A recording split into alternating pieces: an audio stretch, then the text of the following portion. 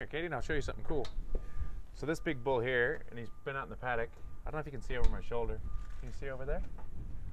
So that's his brisket. So in in different animals, they accumulate fluid from edema, which when they when they got subcutaneous fluid, and it builds up in different spots. So bull um, uh, horses, are generally stallions, it'll, it'll be in their prepuce, around their penis. Uh, in people, it's in your ankles. Like think of little old ladies with fat ankles with congestive heart failure, and in bulls, it's it's in the brisket. And so to, to tell if it's just fluid like an abscess or if it's edema, the difference with edema is, is as that that fatty tissue in there gets full of uh, edema, it becomes like dough, and it's doughy, and they call it pitting edema, and that's because if I push on it with my thumb, it'll leave a depression or a pit, and when I let go, it won't just flop back. So watch this. You look in there.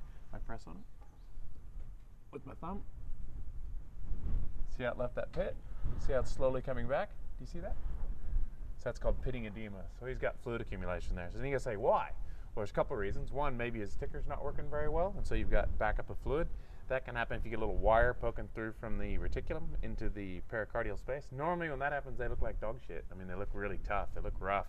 They, um, um, one of the things they'll do is when you do this, they won't scooch down from behind you.